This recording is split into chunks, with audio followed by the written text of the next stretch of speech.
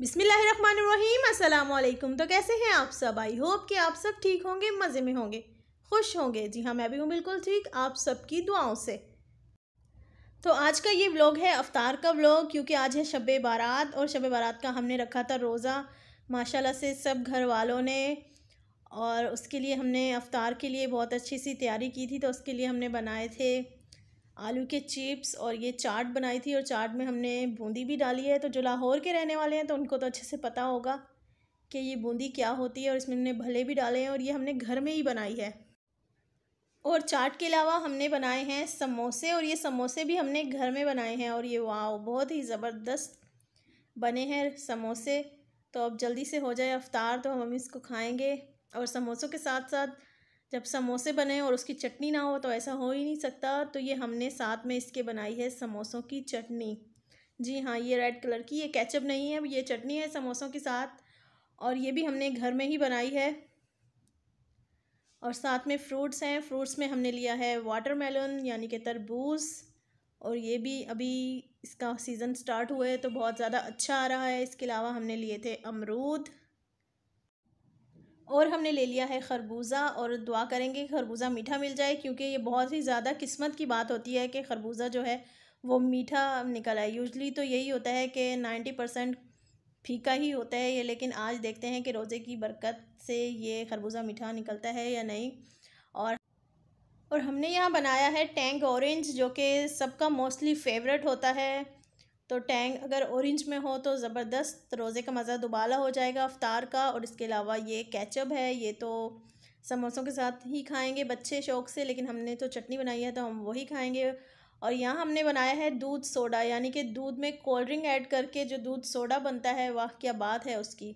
तो ये थी हमारी सारी अफ्तार की प्रिपरेशन जो कि हमने बनाकर तैयार कर ली है और आई होप कि आपको हमारी ये सब चीज़ें पसंद आई होंगी। तो अगर आपका आज रोज़ा था तो आप भी ज़रूर शेयर कीजिएगा कमेंट्स करके कि आप लोगों ने आज अफ्तार में क्या क्या डिशेस बनाई थी।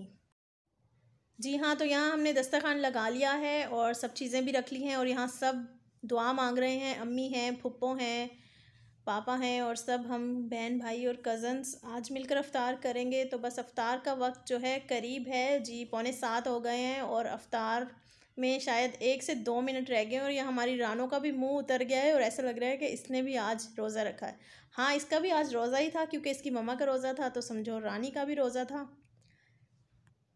अल्लाह अकबर, अल्लाह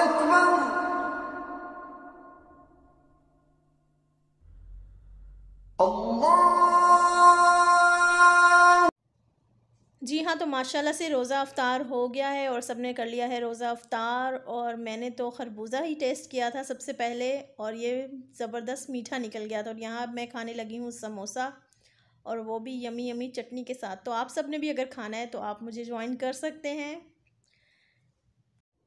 अब इन पंद्रह दिन के बाद रमज़ान आने वाला है और मेरा मोस्ट फेवरेट मंथ है, द होली मंथ, रमज़ान। और अल्लाह ताला बस हम सबको रमज़ान के पूरे रोज़े रखने की तौफ़ी दे और बहुत बहुत ज़्यादा इबादतें करने की तौफ़ी दे। आमीन सुमामीन तो आप लोगों का आज का रोज़ा कैसा गुज़रा? मुझे कमेंट्स करके ज़रूर बताइएगा। मेरा तो माशाल्लाह बहुत अच्छा गुज़रा और अब अफ्तार करके तो और भी ज़्यादा मज़ा आ रहा है क्योंकि अल्लाह ताला की बहुत सी नेमतें हमें मिल गई हैं।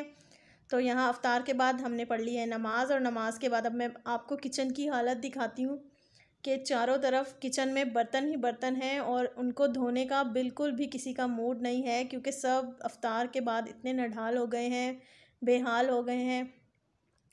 तो ये बर्तन तो धोएँगे लेकिन कुछ देर के बाद